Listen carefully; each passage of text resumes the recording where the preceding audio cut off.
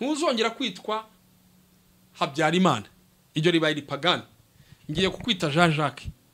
Now how if ha- igipagani ni iki? Igikristo ni iki? Abantu bakoraga bashaka imana babyita ipagani babyita ibi- ibisazi. Hari n'andi muri za definisiyo pegani zivuga ngo ni ibintu bitabaho. Abandi ni ibisazi. Urumva wa muntu ukumva ibintu biri hadi ubu imana twavugana buri munsi. ubu videwo call ko nshobora kujya mpamagara umuntu buri munsi tukaganira nkamwereka ndi hano nicaye gutya tukaganira. Ariko umuntu ngo "Mm, ngo umuntu avugana n'imana. Zaburi nshya. Ndagusuhuje mu izina rya yesu kirisito amahoro y'imana abe kuri wowe wahisemo gukurikira zaburi nshya. Nitwa usabyezu pamfile ndi kumwe na yeme kuri kamera tugize umugisha wo kongera kugaruka muri cya kiganiro cyacu twatangiye. Ku nyigisho y'agakiza agakiza ni iki uburyo bakiramo agakiza ah, n'ibindi bibazo byinshi bizashamikiraho inyuma. Ah, nagira ngo duhe ikaze. Eh, dogiteri yongera dusuhuze hanyuma kandi duhita dukomeza ndaza kukubaza ibindi bibazo bike mfite kuri ya topike duhera twahereye. Ubushize urakoze. Murakoze cyane. Nishimiye kongera kubana namwe amazina ibyiringiro samweri ngira ngo tumaze kumenyerana. Turacyakomeje kwiga agakiza eh, intambwe ku ntambwe kandi ntuzanambirwe kuko harimo byinshi imana itubikiye rero nshimiye kongera kubana namwe murakoze reka mbanze nsenge. Mana mu izina rya yesu turagushimiye kuko ugira neza. Urera urakiranuka ibihe byose. Uri imana y'urukundo uri imana y'imbabazi. Ibabara ibyaha n'ibicuma no gukiranirwa ifite kugira neza kwinshi kandi ihorana abantu baha imbabazi. Ndagushimiye kuko twemere kongera kubonana tutishwe n'ibyaha. Kandi ndagushimiye kuko twemere kongera kubona aka kanya kugira ngo tuganire ku ijambo ryawe. Yohana yandika ibyahishuwe yaravuze ngo ni amahirwe gusoma no kumva ibi by'ijambo ryawe. Ndagushimiye kuko tugiye mu mugabane w'abanyamahirwe. Dushyigikira muri iki kiganiro ubane natwe kandi ubane n'udukurikiye kugira ngo umwuka akomeze gukora umurimo we muri twebwe no mu badukurikiye. Mbisabye imana mu izina rya yesu. Amen. Dr. Urakoze hanyuma mu- biganiro bya mbere bibanza kuri iki gisho ry'agakiza kuko twifuje ko abantu basobanukirwa mu by'ukuri agakiza ni iki Ah, umuntu utarakora iki kiganiro cya mbere wagikurikira ndetse n'icya kabiri ah, ni ho twabonye agakiza ni iki nka definisiyo yako uko bibiri gasobanura tutabisobanuje ubwenge bw'abantu. Hanyuma uyu munsi nifuzaga ko udusobanurira ubushize mu bintu watu- watubwiye mu gakiza watubwiye ko mu buryo bwa kakira agakiza ari uko abantu babwirizwa kuko umuntu ntiyakwizera ntawamubwirije. Niryo jambo dusomeye mu baroma hanyuma ah, uko kwizera umuntu agira amaze kubwirizwa ni ukwizera kumeze gute. Urihangana ngewe nzema nk'atatu yo kwizera ah, numva bivugwa. Ah, ngo hari ukwizera gukiza. Abera twahawe rimwe hari n'indirimbo twajyaga turirimba ku ishuri ivuga ngo uko kwizera twaguhawe rimwe gukiza. Hari no kwizera bibiri ivuga pawulo yavuze nk'impano y'umwuka wera. Hanyuma hari no kwizera dusanga twese abantu umuntu ashaka umugore yizeye ko bazabyara bazakora umuryango. Umuhinzi afata ibishyimbo akajya guhinga yizeye ko bizabyara ibindi bishyimbo agasarura. Nabo ubona bayoborwa no kwizera kandi. Kuko ni na yo mpamvu baba ari ibihe ariko urebye usobora ushobora gusanga hari bimeze nk'icyizere. Simbizi ukuntu bisobanura ko ubikora kose na byo ni ukwizera. Ah, uko kwizera watubwiye paul abwiraga abaroma bagomba ku guhabwa no kubwirizwa ni ukwizera kumeze gute cyangwa se kukwizera abantu bavuga ngo gukiza kuko hari n'abantu bavuga ngo ni nimwizera kirisito gusa muraba mukishijwe uko kwizera ni ukuwe eyida wumve ijambo ry'imana cyangwa wumve irya satani cyangwa wumve iry'abantu cyangwa wumve iry'abakubanjirije kwizera kose kuzanwa no kumva. Ahubwo au contraire kwizera kuturuka kuri satani ibyo twumva kuri satani bizana kwizera kuri negatifu ariko twita ubwoba. Ni ukuvuga ngo ah, ikintu cyose uracyumva. Buriya nta kintu na kimwe kibaho ndazagaruka mu by'agakiza reka mbarize urugero nk'ikintu cya mbere uvuze. Kuki umuntu yizera ko ahinga keza? Kuki umuntu yemera yuko yubaka urugo bigashoboka? Ni uko yumvishije. Ndashaka kumenya kuri kuko mbere yo kujya mu ha- hari hari burabanza ukumva. Imana ihaye umuntu amatwi yumva kugira ngo muremere kwizera. Uyu munsi akubwiye umuntu ati umuntu arahinga bikera urabyizera. Umuntu akubwiye ngo umugore arabyara. Ni ibintu wizera. Rero kwizera kose kwaba kuri kuvuga kwaba kuri sekira kwaba kuri nyuma ya bibiliya kwaba ari buriya n'urujya kure n'abantu bagira ubwoba. Buriya baba bizeye amagambo ya satani. Ubundi ubwoba ushatse kubudefinisa neza ni ukwizera amagambo y'umwanzi Yu- ni ubwoba buturuka buryo nta bwoba butumvishije niyo mpamvu ah, no mu by'imana rero na byo. Kwizera kuzanwa no kumva. Ntihakagire ubabeshya nta ntwari. Reka babwire bari mu kintu mu kintu abantu batajya basengera ni ikintu cyitwa kwizera. Nta muntu usengera kwizera. Ni nk'abagishwa kubwira Yesu bati watwongere kwizera. Kuko kwizera gufite aho gukomoka gufite kubyara. Wowe niba ushaka kubyara kwizera umva cyane.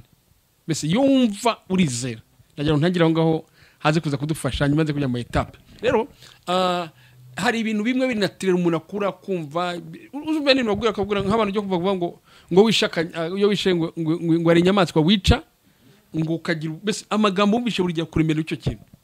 Rero twitondere ibintu twumvisize ko n'ibyo ibiri negatifu bituzanira kwizera kwica ariko uri positive kuzanira kwizera ah, gufitemo imbaraga. Ah, uzumva amagambo twumva buri munsi uzumva ibintu bitari mu magambo y'urwumva buri munsi buri munsi buri munsi akuremera kwizera cyangwa akakuremera ah, ubwoba. Ariko uyu munsi wa none ah, njye ndi butinde kwizera kujyanye kuri related n'iby'imana. Ntabwo ndi butinde kwizera ku kwa negatifu no kwizera gutandukanye. Ubundi nshatse kubivuga neza ah, nabishyira mu moko agera muri atandatu yo kwizera. Nagira ngo nkurikira tubyumve kandi nagira ngo uyu munsi ayo am- atandatu abiri na yo nyuma yo kwizera. Nayo nyuma yo kwizera bujyanye n'agakiza. Andi ndi buvuge ane yo ari mu ni ni kwa kwizera gukiza ariko nakunda ko bukuvugemo mu buryo butandukanye. Ah, icya mbere hari ukwizera kuri natirere gusanzwe wabuze kuvuga. Uku ni ukwizera ah, umuhinzi ajya guhinga azi ko ari buronke Ah, uku ni ukwizera umucuruzi ari bugiye gucuruza akaba azi ko ari butane amafaranga Ah, uku ni ukwizera kwa kundi bavuze kwa mbere kuri ni ukujyanye na situwasiyo ubayemo ni ukubona ibintu. Ni ukubona ibintu. N'inoro rino nka izabyara umusaruro. Ah, imbyarire Ah, kwizera ni byo nta kintu birashingiraho na kimwe. Ahubwo bishingira bishobora gushingira ku makuru wakiriye wagiye wumvana bakubanjirije byo abakurambere bavuga ngo ubutaka burera ubutaka butaka bugiye gutya. Aha ngaha rwose uku kwizera ko navuga ko buri muntu wese buriya iyi mbuto yo kwizera kuko iyo umuntu- niba imana yaduha amatwi yo kumva yaduhaye n'imbuto yo kwi yo kwizera ibyo twumvishije. Rero niyo mpamvu nabyizera niyo umuntu yumva ah, ukaba uzi ko uraryamye ariko uri bubyuke zari ukuntu umuntu wese aryama azi ko ari bu ari bubyuke. Ah, iyo iyo ukumva hari ibintu wumva biri natirere wumva ni byo twita ibi rero tukanabirangiza tugira ngo ni natirere na byo binitiranya tukagira ngo birikora. Bikanatuma tutamenya imana ibikora. Ukaba okay ah umwana sinzi icyo sinzi ko bigenda ko aya masheka ari kumwotsa ndizera yuko umwana ariye na in fact aho ni ho na zo abantu aho ngaho kubona ni ibintu n'ibintu nagera natirere ariko still ni imana iba yakoze uwo murimo. Uko rero niko kwizera kwa mbere kubisanzwe hakaza ukundi kwizera kwa kabiri. Uku ni ukwizera yuko hari ikintu cyitwa imana. Uku niko muri yakobo nubisoma neza yakobo yakobo ah, barivuga neza uku ni ukwizera yuko kameme eh, hari ikintu kiri supernatural. Kuko mu miterere y'umwana w'umuntu ashatse guhera hasi uko kwa mbere nubwo uko kwa mbere nta nugura nima ni ibintu umuntu yumva yuko biri automatique ni, ibintu mm? ah, ni ibintu automatique ni ibintu ah, iyo reka urugero iyo ndiye sinjya kumenya ngo byakase bitya kunva mm? I- iyo systeme nti- mm? I don't mind. Ntabwo mbese hari ibintu byinshi. Iyo nkanze telefone mpamagara reka mwereke kuri natirere iyo ngiye guhamagara umuntu gutya. Ntabwo njya kubaza ngo ijwi ngo riraca he nyine kuko hari hari uko bambwiye yuko i- iyo uhamagaye umuntu aritaba. Ibi ntibijya kujya kubaza ngo ni byo twita icyizere? Ah, ibi ni ibintu ni ibintu ni ni ibintu umwana nyine ni yakwakumva nyine. Mbese ni icyizere kandi akenshi icyizere tubigira mu bi- mu bintu bifatika nako bisanzwe ariko tunanirwa kubigira ku mana. Umuntu akizera ko ushobora gufata telefone nkavugana n'umuntu uri muri amerika nk'abasire noneho basigaye na zumu musigaye mubona ku mazumu umuntu akicara rwose abantu bakicara batanarebana ariko kumva mu kirere cyabahuje.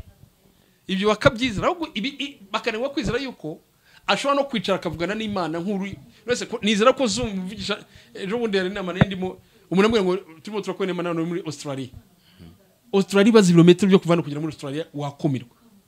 Ni gute ni gute ngewe nizera ko umuntu wo muri australia dushobora kuvugana tunarebana noneho ntibinakina cyangwa video call kwa kundi tugira gutya. Ibi nkabyizera ariko nanone kwizera ko imana yo nshobora kuvugana na yo uko ubu bintu biri hadi ubu imana twavugana buri munsi. Ubu se video call ko nshobora kujya mpamagara umuntu buri munsi tukaganira nkamwereka ndi hano nicaye gutya tukaganira. Ariko umuntu atabivuga ngo "Mm, ngo umuntu avugana n'imana bakora ibintu. Rero hari ibintu bimwe ah, twahaye icyizere ko ari ibifatika ni na byo twita yuko ari byo biriho. Bita ngo fact. Ibindi bintu bitagaragara byo mu isi mwuka tukumva nti ntibibaho rero ibyo sinabyita na- ntago namenya uko mbyita ariko byo ni icyizere cy'ibifatika. Kituzanira kwizera ibyo bintu tukabireba tukavuga ati ibintu ibintu birashoboka ibintu mbikoze gutya byashoboka. Hanyuma reka mvuge ko kwizera kundi. Ukwizera ni ubuhere bukomeye cyane. Ni ukwizera ko muri yakobo ukwa mbere nakuvuze ni ukwizera kuri ibintu biri biriho ya biriho ariko hari ukundi kwizera kwa kabiri ndivugeho ngaha. Ah, yakobo cumi n'icyenda avuga ngo wizera yuko imana ari imwe rukumbi. Ibyo ni byiza ariko n'abadayimo nabo barabyizera bagahinda imishyitsi. Uku kwizera kw'imana yuko iriho ntabwo ari ukwizera ko mu gakiza. Na kwa kwizera navuze kuri natire ntabwo ari ukwizera ko mu gakiza. Ndaza kubigarukaho. Uku kwa kabiri kwizera ko imana iriho hari ukuntu imana mu miterere iri mu muntu yamushyizeho yuko umuntu atibana wenyine atibasha wenyine. Mu kirimi kivuze ntabwo yaba independent. Imana akoze umuntu kuba aba di- dependent. Mbese agira icyo ashingiraho. Rero hari ikintu cya lakini yamushyizemo cyo kumva yuko hari ikintu cyo hanze yiwe kimurusha ubushobozi.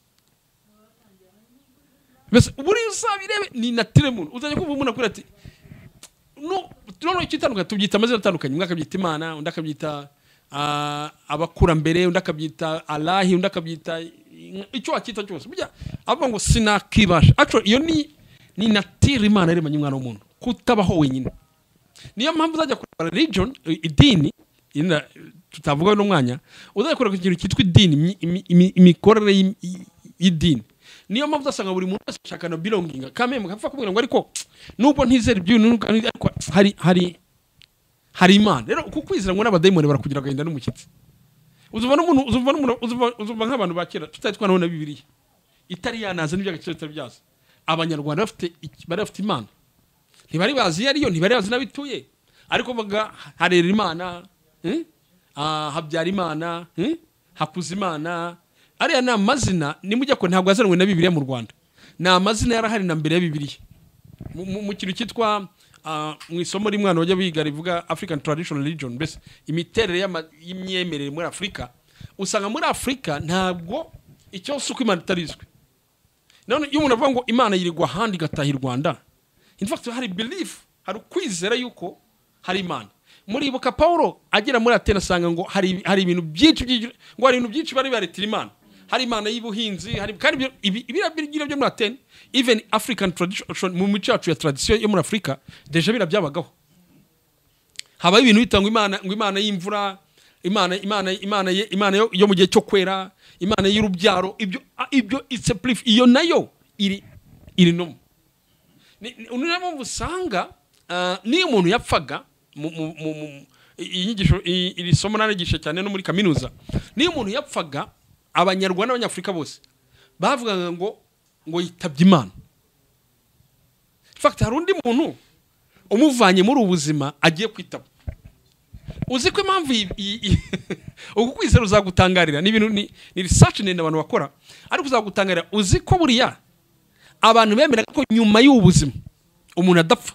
Bavuga ko umuntu wabayeho neza w'inyangamugayo w'imfura muri muri sosiyete ibisina ibisina u Rwanda gusa the whole Africa muri Afrika yose bavuga ko umuntu w'imfura wabayeho neza wa- wabayeho mu, buzima bwiza uyu muntu ntabwo apfa. Ajya ahantu hitwa ngo, hejuru. Ah, hejuru ngo yagiye mu birunga. Niyo mpamvu buriya guterekera no kuraguza no kujya kubaza abakurambere ntabwo buriya byari muri sansi y'igipagani. Ahubwo byari muri sansi yo kuvuga ngo wa muntu ubanza yaregereye imana. urumva ni nko kuvuga ngo wa muntu ubanza yaregereye imana reka uyu muntu atu- atuvugire waramwegereye bakajya kuraguza bagatanga n'amaturo. Utandukanye buriya yuko batangaga n'amaturo kugira ngo Abavugire. ku mana. Ku mana. Kuko yamye ari mwiza mu isi bakabona ko ari mugenzi w'imana. Yes. Buriya niyo niyo pa- niyo pa- niyo Pawulo agira avuga ngo icyo nje kubabwira eh, ibi byose nabona ko mubifite ariko nje kubabwira icyo imana itazwi. Bakoze indi mana nyinshi batari ko kameme hariyo twibagiwe let's create one. The unknown god. Twite ngo ni imana itazwi mbese iyi rero iyi rero mwahishwe niyo nje kubabwira. Binavuze ko ariyo mu by'ukuri ni bwo bukristo bwaje muri afurika dogita hari ikindi nshaka ko tuzaganiraho gikomeye maze kubona ko wihangane ntandukire gato. Kiri mu bintu mbona bibangamiye ivugabutumwa ah, ni inyigisho iriho ni umwuka uriho kandi uri mu bantu benshi. Bavuga ngo ntabwo abazungu ba- ba- ba- batuzaniye agakiza. Kandi umuntu ubikubwira n'ubu nawe arakubwira ko yize ahantu n'ahandi n'ahandi ari bwabonye agakiza. Yakavanyiye arakubwira ati abazungu ntakababeshye nta gakiza batuzaniye ko nabo ntako bagiraga. Gahita bibaza ngo uku kurwana ku- ku- ino kura iriho kurwanya ivugabutumwa ryakozwe n'abamisiyoneri ba kera. uyu munsi naryo risigaye biteye impungenge kuko umuntu wese uri kuvumbuka aravuga ko wenda amahirwe we warabyize cyane uzanatubwira. Ari kuvumbuka avuga ngo abazungu bibabeshya nta gakiza batuzaniye baje badukurikiyeho amafaranga baje badukurikiyeho ibintu n'ibindi. Ukabona ko turimo turasenya ivugabutumwa ryakozwe muri kiriya gihe noneho ukibaza se abantu evangelizasiyo dufite uyu munsi. Tuyikomora ku batubanjirije. Bayikomora kuba babanjirije bayikomora kuba abamisiyoneri ariko uyu munsi iyo hari ikibazo cya panafricanisme n'ibindi byinshi biri kuzamo. Biri gushaka gusenya icyo kintu cyose cyabayeho icyo gihe. Noneho urimo uratubwira uti n'abantu ba kera bageraga ku kwizera no kuko bateraga guterekera no kubandwa. Ni naho abahinde bakora bino bya reincarnation. kandi koko iki kintu usomye yakobo avuze ngo abademoni bizera ko imana ari imwe kandi bo binabatera guhinda umushyitsi. Ni ukuri nta muntu ndabona uhindishwa umushyitsi nuko azi ko imana ihari ari imwe yonyine. Ndibuvuge hano abadayimoni wibuke yuko babaye mu ijuru ni babanye n'imana ni abacumuye ku mana. Ariko nibuga kuri iki kintu ki- ikintu cy'imana yashyize mu muntu. Ah, gituma uyu muntu uko abikora kose ariko batekereza ko hari imana. Yego. Ah, urambaje ngo ni iki Ah, ibi ni ukuvuga ngo na byo tuzabigarukaho ikindi kindi kiganiro ubundi ubutumwa bwiza twakiriye ni ubuhe? Iyo bituma dusubira inyuma mu myaka tukajya mu bijyanye n'amateka y'itoro mu ino myaka abamisiyoneri batangiye kuza. Ah, hari hamwe abamisiyoneri bazanye ubutumwa bwiza. Ah, cyane cyane nk'abamisiyoneri hano ugera kunanizwa n'abongereza. Bagiye bagirirwa amahirwe yo kubona ubutumwa bwiza. Bafite intego yo kubwiriza. Yo kubwiriza ndetse abantu bamwe banagerwaho na bibiliya nubwo zitari zuzuye zari eh, ariko banatangira kwisomera. Hari ibindi bihugu byagize akaga haza n'ubundi abamisiyoneri nabo ntabyo bagifite. Nabo baje ntacyo bafite ahubwo kutubwira ubutumwa bwiza batwigisha the way of worship uburyo bwo kuramya. Noneho hari habayemo conflict ikomeye. Ubundi byari byoroshye. Nubwo na byo bigiye kuba ariko reka reka tubikore gutya. Kuko n'ubundi turi Ya, kwa aba- kwizera turi no kumva. ubundi dore ukuntu byari byoroshye. Ah, abamisiyoneri bagiye kuza muri afurika reka mvuga afurika ko bagiye no muri aziya n'atandukanye na amerika buriya zo mu majyepfo bagiyemo. Ah, hari umwe yabwiwe ngo ntimutekereze yuko abantu mugiye kubwira batazi imana. Iyo mana barayizi mugiye kubabwira. Ariko imana bazi ntibazi ibindi byayo ntibazi bayivuga mu magambo bakayita imana bakita ah, rurema. Uzi ko abanemera ko ari creation rurema ni creator ni rurema. Hanyuma rero gatiro mugende ah, muzi ko imana ahubwo mubigisha uburyo imana iyo mana bazi iyo basanzwe bafiteho kumenya ahubwo mubasobanurire iyo ariyo n'uko ikora n'uburyo uhura na yo. Rero buriya icyo babaye aba- aba- ikibazo cyabaye cya- cyarimo komfuri buriya muri mu bamisiyoneri cyane cyane basanze banafite kwa kwizera yuko imana iriho. Bagufite mu uyu muntu ngo rurema sibyo rurema. imana ubwabyo kumva yuko umuntu atari we ubyara imana ritanga urubyaro. Uzi ko hano hano tunavugira tunavuga mu kanya ngo ni ibintu bikomeye. Ubu tuba tuvuga ngo imana igica inzira ngo imana ica inzira. Abanyarwanda bavuga ngo umwanzi agucira akobo imana ikagucira akanzu they believe yuko hari ikintu nubwo umuntu yaguhagurukira ariko inzira. Uzi ko urujya muri proverbs muri mu mitoyi uzi ko usanga uzi ko usanga harimo ibimeze nka ariko ugasanga birahura biranaretingana Na ni bimwe bimwe. ni bimwe bibiliya ivuga. Ariko wakuye muri experience batazi ibyo ngibyo bitandukanye. Hanyuma buriya byari byoroshye byari kuba nka pawulo. Iyo aza akababwira ati dore noneho igiye kubahuza n'imana rurema si iki ngiki mwakoraga ariko hari yesu kirisito wa nzira n'ukuri n'ubugingo. Na porobulemu yabaye rero komfuri yabaye mu byumva byo byose byo bitandukanye. Muri muri history ni uko baza bafashe bya bintu byose abantu bakoraga bashaka imana. Babyita ipagani. Babyita ibi- ibisazi. Hari n'andi muri za definisiyo pegani zivuga ngo ni ibintu bitabaho. Abandi ni ibisazi. Urumva wa muntu twavuze ko kwa kwizera buri wese agira kandi in- pawulo we byamuha introduction yo kuvuga ubutumwa. None bazana bo stile yindi yo ngo ibi ko ari ipagane tubikureho hanyuma tubereze ibikristo ibikristo bahereje abantu mu itangira navuga ko hari ibihugu bimwe byagize amahirwe yo gukolonizwa n'abantu bazanye ubutumwa bwiza. Nzantu bageze ububyutse burahaba. Hari n'abandi bagize ibibazo by'uko ba- bahawe n'ubundi abantu nabo b'aba- b'abanyedini batagira ubutumwa bwiza. Hanyuma baravuga ngo ibi bibaye ipagane twe tuzanye ibi ibikirisito ibikirisitu ibikirisitu bibaye rero? Ntuzongera kwitwa habyarimana. Iryo ribaye ripagani. Ngiye kukwita jean jacques. Now how if ha- igipagane ni iki? Igikristo ni iki? Naho rero conflict yabaye uh, ariko ikintu gitangaje cy'imana ariko icyiza burya ibintu byose imana ifatiza ku neza yabyo.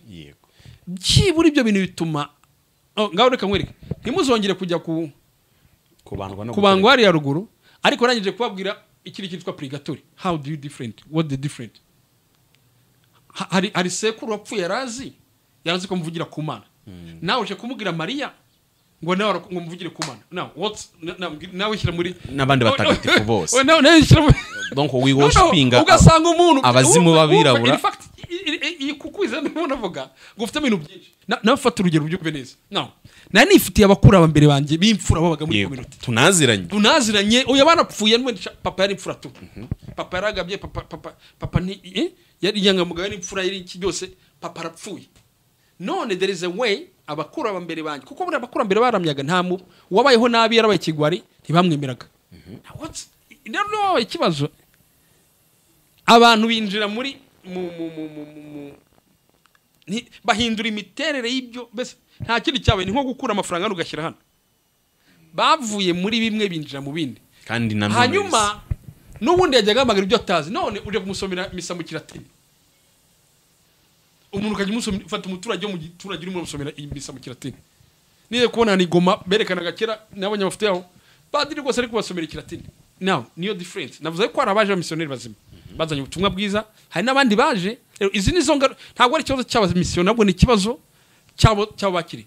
Ni na yo mpamvu buriya ububyutse bwa burekingi ububyutse bwabaye ntabwo bwabaye ari uko ari ubutumwa bwiza abantu abakiri ahubwo abantu byabateye inzara ni urareka mbwira ububyutse bujya kuza. Abantu batangira kwibaza ngo ariko ibi ni ibiki? Niko ububyutse butangira kuza. Buriya mukuye mu bubyutse mu itora unabaza ngo ariko ibintu turimo ni iby'imana cyangwa nta by'imana turimo? Uwajya gushaka imana tukayisobanuza. Urabona buri bubyutse bwose ntabwo ububyutse ari ikintu ki- cy'imvura gikubita kikagwa gutya. Ahubwo ububyutse buriya ni abantu batangiye kubaza ngo ariko questioning. Hmm? aho ibintu turimo ni iby'imana. Aha ibintu turimo ni ibiki?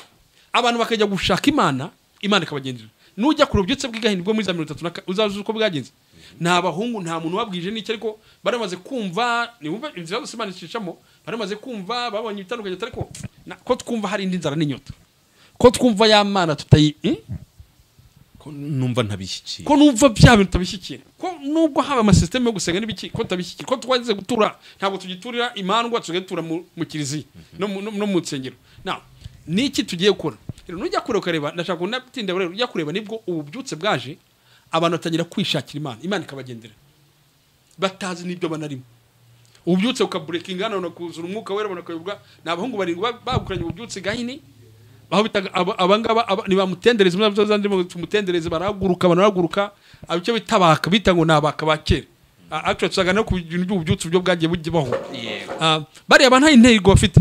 Bashaka kumenya imana no kugira ngo bayirebe imana ibagire neza. Rero icyo ndavuga aha ngaha mu mahanga yose uku kwizera kurahari.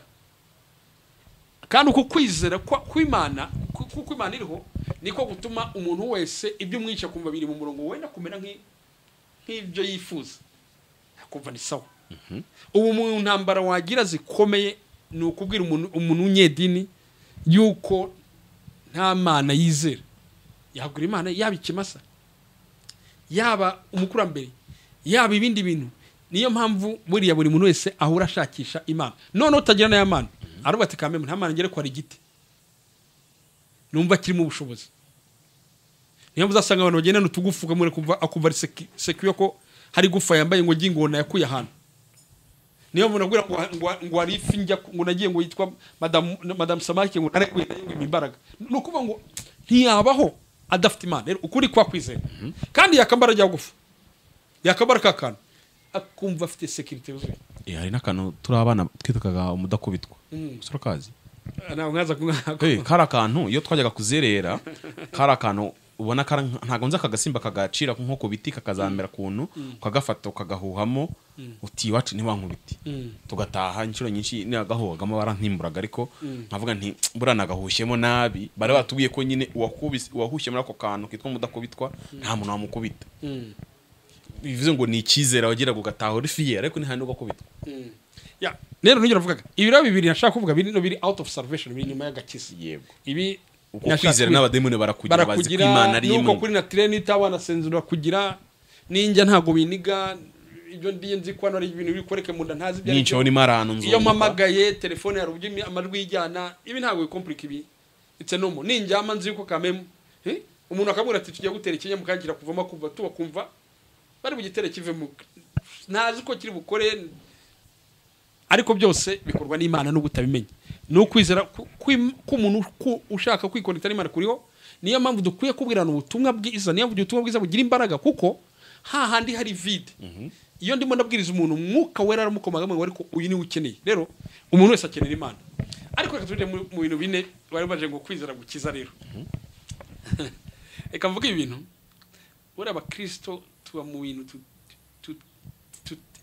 twizera ibyo tutazi reka nkoresheje terime yenda nyirabona terime y'ikiganiro ariko buriya abakristo twizera ibyo tutazi.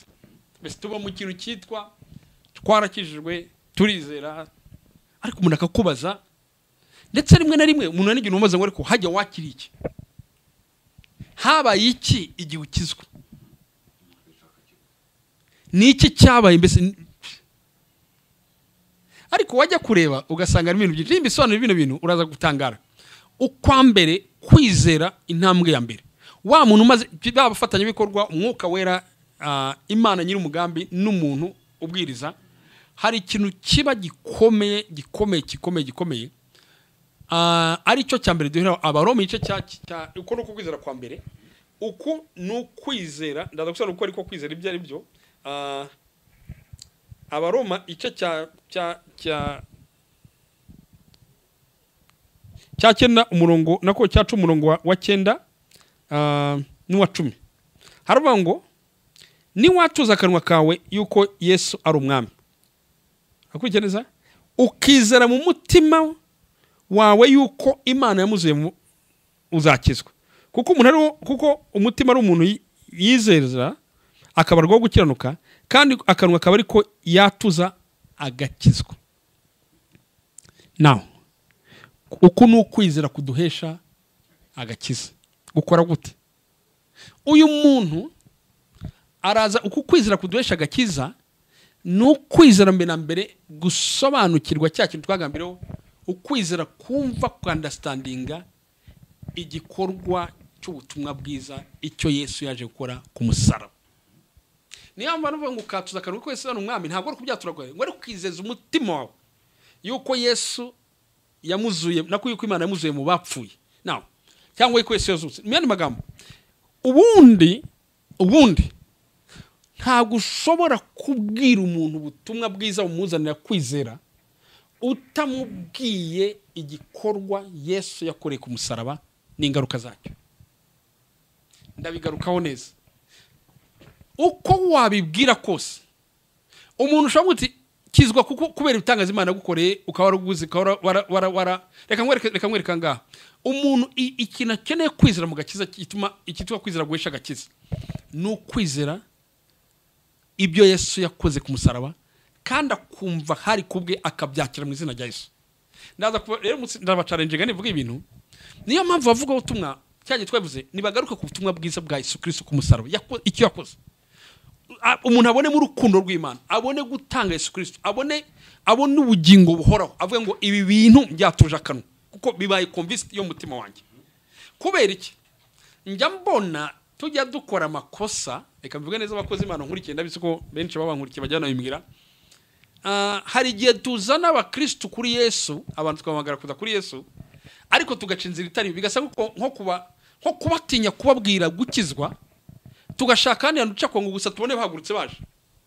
Uzabona umuntu arahamagara aba- abakizwa akavuga ngo niba wagize icyifuzo cyo mu mutima cyo kugirirwa neza n'imana ngo wahaguruka aho ngaho.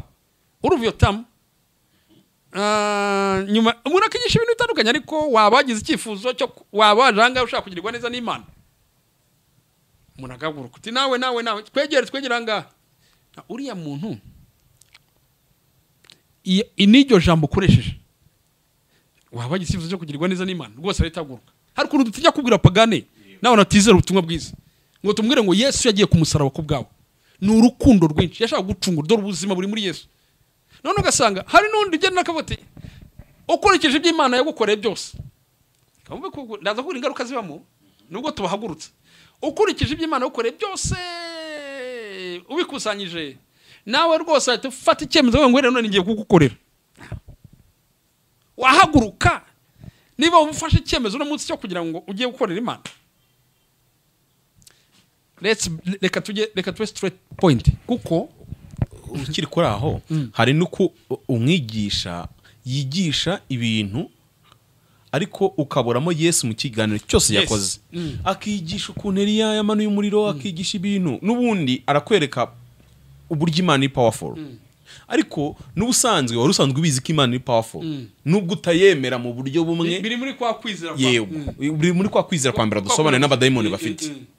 akavuga ati nawe urashaka kwakira imana urashaka kwakira yesu.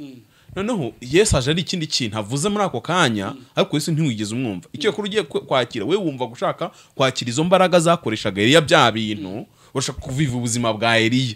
Ariko ntabwo uje kwakira yesu. Aha ntabwo uje kwa- ntabwo uje kwakira igikorwa gukoreye Hmm? uje kwakira ziriya mbaraga elisa yakoreshaga yes cyangwa ni yakoreshaga twigisha ukwizera ukwizera kw'agakiza. Ndaza guhereza urundi rugero. Wari waboneho habaye ibitangaza abantu bakizwa? Uzabona ibitangaza by'abantu bakiza indwara none uzarebe umubare w'abaza gukizwa. Umuntu wari ugize ko yarahagurutse arakize in fact impamvu nujya gukurikirana reka mbivuge neza niyo mpamvu muri afurika tugira ibiterane by'abantu miliyoni abantu bakaza koresha iteraniro bagakizwa ari miliyoni abantu bagakizwa ari ukavuga ngo wabaye itangare ngo kinshasa abantu bi- bi- abantu bakizwa ibihumbi n'ibihumbi tukazamura amaboko. The second the following day njye maze kuba mu mu komite menshi organiza ibiterane byo byo ku masitade maze kubona nigeze twize kuba mu tworganiza ibiterane bikomeye bimwe n'ibitangaza by'imana bifatika bigaragara. Ariko in fact aba bantu ntabwo bamenya umugambi w'imana w'agakiza kaboneka muri yesu kirisito amaboko bakayazamura. Uzi ikintu kiba? Niyo mpamvu buri munsi duhorana imibare ikomeye muri afurika iri hejuru y'abakizwa buri munsi. Niyo haba ibiterane bikomeye ariko se ibyo biterane biba? Bisiguye umusaruro wo kubona abantu bahindutse. Ni ukuvuga ngo ni nka ba bantu bakurikira yesu kubera umutsima.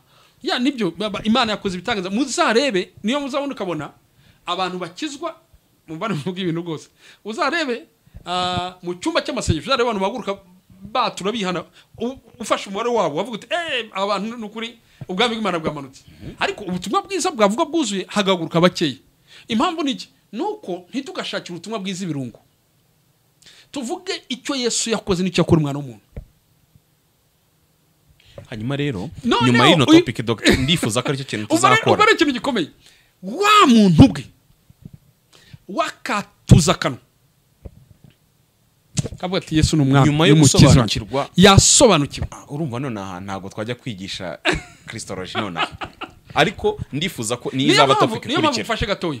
Niyo mpamvu usigaye uhura na groups nyinshi z'urubyiruko rurimo uragenda ruba open rwitwa ngo urafunguka bakakubwira ngo turi mu nyigisho zitwa grace. Twabaze ngo ariko izi nyigisho ngo uzi ko bujya twabaga mu bintu tutari tuzi. In fact agasanga wazanye ibintu bishya ariko ugasanga ikibazo nawe si we ikibazo n'ubundi ntabyo Hmm? ntabyo yabwiwe ni byo rwo rufatiro agomba kuba yarabwiwe. Niyo mpamvu uyu munsi muri statisitike ureba ahangaha ni byo twanavugaga byose bitandukanye. Mbese gukizwa bisigaye bimeze nk'umuhango. Bi- bisigaye bimeze nka nka nka nka kuko ntabwo ntabwo umuntu azi icyo ari cyo ariko ubutumwa bwiza uzi ko Pawulo yigeze kubwiriza yigeze kubwiriza umuntu ati habuzeho gato muhindure umukristo mbese ndumva conviction y'umutima wanjye. Ngo yamubwira amubwira amubwira ati eh ndumva. Eh yari mu rukiko. Niyo mpamvu niyo mpamvu uzajya kure ugasanga ngiye kuvuga ibintu binini bikomeye. Niyo mpamvu uzajya kure ugasanga nyuma yo gukizwa dusigara tubwira abantu ngo ibyacu bitandukanye n'ibyanyu? Mbese inzira zacu z'agakiza ngo doctrine zanyu ngo n'izacu in fact nta doctrine ibaho itandukanye ubukristo ni bumwe. Nta na discipline ibaho itandukanye n'ubundi. Ari ibintu bisa nsanga umuntu amwe ngo ngo twebwe ngo iriya ngo ni discipline y'itoro ryacu undi ngo iriya ngo ni doctrine y'itoro ryacu ngo mwebwe mubikora gutya ngo twe tubikora gutya. Buriya kamubwire abasirikare bose ba RDF aho bari bashobora kuba deployinze mu buryo butandukanye. Ariko buriya discipline ni imwe doctrine ni imwe values ni zimwe. Aho wamusanga hose usanga ari umusirikare umwe. Ibintu byose ni bimwe. Ariko badeployinze mu buryo butandukanye. Na- natwe reka nkwereke ukuntu muri ama- amatorero ameze n'amadini. Amatorero ayo yose ndavuga izira kirisito si ikibazo cy'ukuri usengera mu itorero ritandukanye. Ahubwo wampa ngo sibyo nk'uko twa tuzu twa emutiyeni tw'umuntu duhari. Ahubwo aba ariko n'amatorero angana. Njye rwose i don't have a problem with the, with the many churches. Ariko ikibazo ni ukuba ingabo ni ukuba ingabo z'umugabo w'ikirenga umwe witwa yesu nazazibaho ukamubwira ngo we bana wowe ntabwo wowe ntabwo zo ziri kurwana hagati. Kuko ikibazo basa nkaho batarakira ibintu bimwe. Kuko ibyo babwiwe ntabwo bizeye bimwe. Mu gakiza. Twagomba kuba ntafite ikibazo cy'uko ninjya muri amerika ngo ngo ba- ngo barakore banga ngo batandukanye n'ab'iwacu hawe ibi bintu buri gihe murambibaza abantu iyo- y'iwacu ngo itandukanye biratandukanye gute kiliziya iravuga ngo kiliziya imwe ukwemera kumwe batisima imwe. Twajya kuririmba twe tukavuga ngo itorero ni rimwe mu moko atara izo ndirimbo zitandukaniye. Niba oya none turakoresha manuel mwe turakoresha igitabo kimwe. Tufite tur- turabwira agakiza kamwe turajya mu ijuru rimwe. Nawe uzambwire noneho rero za disipurine niba tuzagera ku rugi rwa akavuga ngo ngo ngo we kuramo iyawe kuramo iyawe ubundi twagomba kuba turi umubiri wa yego nanjye kuvuga ibintu. Twebwe bitandukanye twebwe ntabwo turi idini. Ubu kristo si idini. Kuko ngiye nshobora gutandukana n'umusilamu kuko we ntabwo ni idini. Ariko umusilamu w'idini muri isilamu yiwe nagende usanga afite ya nifomu wo muri arabiya wahangaye ugasanga birasa. Natwe turi mu kintu cyitwa itorero. Nubwo twaba turi deployed ahatandukanye nubwo twaba tudasengera hamwe kuko rwose gusengera hamwe ushobora kugira ibi- ibitandukanye nanjye nkagira ibitandukanye ariko igikomeye ni ni uko ngiye handi yanjye nuhansanga uzasanga dusa. Nta kibazo rero twira turimba bakuru turi abana murakoze hasa n'ikwerekanwa ariko yesu niyerekanwa tuzasa nawe ngambwira yesu niyerekanwa mubona uko turi tu- eh? mbese hari nk'ukuntu hari n'akarusho ba- ngo hari n'akarusho tuvuga ngo umugeni wa kristo ngo ari hose ngo umugeni wa kristo ngo, ngo, ari hose ahubwo muri mu kristo wese aho ari. Aho umugeni wa kristo. Rero igikomeje avuga ngaha twigishwa nabi aka gakiza tukakinjiramo nabi. Bikaba ibintu bimeze nk'aho ari ibintu byo ariko nahamya neza yuko hano uku kwizera ku Yesu yakoze ku musaraba kigomba kugeza ahantu umuntu avuga ngo natuje akanwa kanjye. Noneho ah, hari n'ibintu tujya dukora rwose mbare bivuge turimo turageza iyo turimo turiga agakiza deep turimo turangaha ah, bikamera nka repetition aturabe ko Yesu ari umwami Yesu ni umwami yacunga ubugingo bwanjye yacunga ubugingo bwanjye yambambiwe ku musaraba mbambiwe ku musaraba. Why? Ko bavuga ngo we azakonfesinga aza- azatuza akanwa ke yuko Yesu ari umwami ibi rero byose ndimo nivuga ngaha kugira ngo naho bidufashe. wowe urimo uramubwira ngo nabikore. Of course ari ngombwa ngo nabikore. Ntabwo ari umwana yenda mutoya ni umuntu mukuru uzi ibyaho ngaho rero namenye icyo umusaraba wakoze namenye icyo wakoze ku munyabyaha. Nicyo mvuga ngaha umunyabyaha ya benefisi y'iki ku musaraba? Ngewe waruruhijwe n'icyaha n'ubusambanyi n'ubujura n'ibiki byose bitandukanye umusaraba wakoze iki? Ni uko ngewe umusaraba umbohora ukamvana ukamvana ukamvana muri ubwo buzima ukampindura icyane mu gishya nkava mu bwami bw'umwijima nkajya mu bundi bwami nkatura ko ari umwami. Hari undi ibyaha byantegekaga birarangiye ngiye ku- ku- kubw'imbaraga z'umusaraba. Ibi rero si utuntu tw'iminota itanu abantu twahurira bamwe bita abadiyakoni bakabita abashatsi cyangwa protocols Ah, dusigaye tunabyihutisha ah, mu bajyane ba- baganire nabo bakanabwira ati iminota ibiri garuka ntutinda rwose. Ni ntibigutwara iminota itatu. Uriya muntu habaye iki? Agakiza kateguye imyaka ibihumbi Ah, n'ibihumbi no ni fact tumeze nkaho ari ibintu. Na wa niyo mugeje hariya nta kindi kizaza kora. Ahita amwandika ati ndakwandika mu gitabo cy'itoro umbwira aho aderesi na nimero za telefone. Ah, dore uziga bamwe babyita igice abandi abandi abandi Inyigisho z'umubatizo. ahangaha atandukanye ejo bundi ugasanga abagwa mu mwaka bangana n'abakijwe mu mwaka buriya ntitujya tuyibara buriya ntabwo tujya tubara abinjiye n'abaguye ngo dukore perezida none umuntu asigaye ni abahe ejo bundi akamara imyaka akaza umuntu akamata ariko bya bintu bivugaga wa bya bintu bavugaga imagine. Guhura n'umuntu akikubaza aciye imyaka icumi ngo ngo isabato ni iki? Kuki mwe mudakora isabato? Ntiwanamubwiye ikiruhuko cyo muri kirisito yesu? Byibura ngo cyumve ntiwanamubwiye ngo umunsi wa yesu kirisito dore isabato nyayo winjiyemo uyu munsi akaba agikweshoninga mbese? Rero uku kwizera gukwiye kugira imbaraga umuntu akakwakira akakwatuza yuko yesu ari umwami. Mu- mu- ah, sinya nkunda kurefera ku bitabo ariko njya mbona abantu bajya bifuraho cya, cya mukristo. Bagunda bavuga ngo ageze imbere y'uwo musaraba. Ngo umutwaro aki- akireba izo mbabazi akireba izo mbabazi ngo umutwaro umuriho uradodoka uvayo. Ariko hari abandi baraza amakuru y'umusaraba baciyeyo ngo baciye izindi nzira. Nicyo nshaka kuvuga ngaha uku kwizera bavuga ngo burya umunyabyaha yababarirwa uko ufite point ikomeye ni kwa kwizera gukiza abantu byakinisha yenda uh, umuntu byagutwara iminsi itatu ine ariko akatura ibintu ntabwo uzazandira ariko ntimere nkano. Ni ibintu tunavuga ukibaza niba tubwiye abantu gukiza niba tubwiye agakiza nyako uyu muntu aje kwatura ko ari umwami umumaro wiwe hmm? wasanga iyo ariyo saha yawe ya nyuma. Wasanga iyo ari wo munota wawe wa nyuma. Ushobora kwambuka imodoka ikakugonga. Nawe ntabwo rwose nanze kwishamita ariko ibyo uvuga byose reba niba bavuze full gospel. Yani yerekana urukundo rw'imana igikorwa cyose ku musaraba kubabarirwa no gucungurwa ibi ni imbaraga. Hanyuma rero hakahita hajyaho ukundi kwizera gukomeye